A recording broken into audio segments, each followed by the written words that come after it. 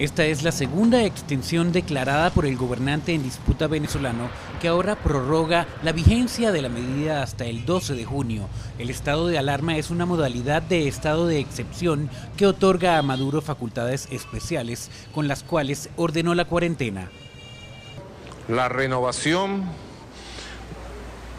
la renovación del decreto del estado de alarma hoy 12 de mayo, por 30 días más, voy a renovar el decreto del estado de alarma por 30 días más para seguir protegiendo a nuestro pueblo. Procedo a firmar decreto de alarma constitucional 30 días más, hasta más allá de junio.